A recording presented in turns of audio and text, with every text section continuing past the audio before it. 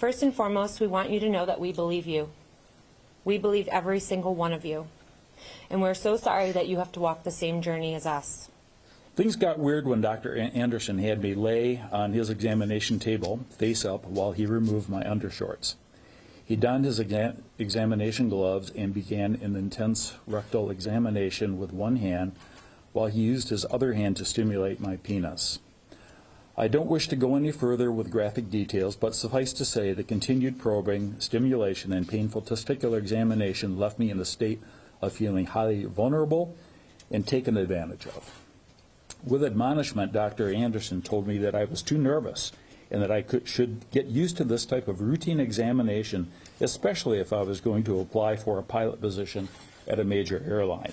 It's interesting. Every time I have a conversation, the conversation at some point circles. He further stated that he was going to help me by scheduling further appointments with him so I could get used to pulling down my pants in front of him.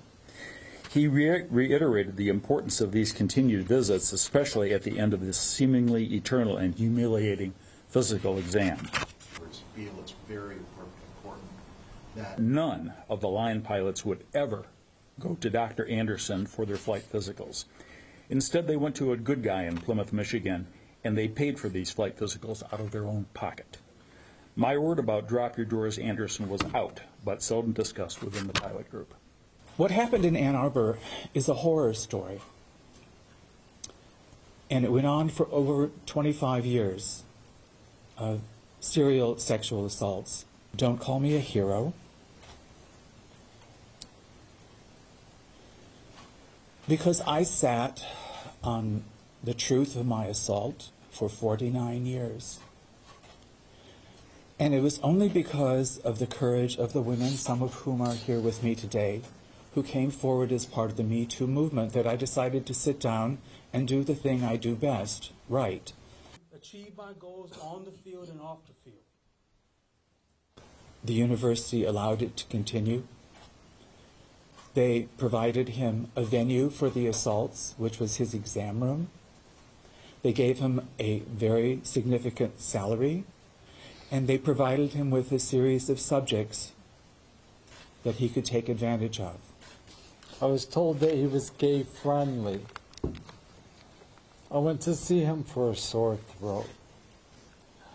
And that's when the abuse started. And what happened here was a 30 year lie. The best and brightest of this state, the best and brightest of this state, were savaged by Dr. Anderson.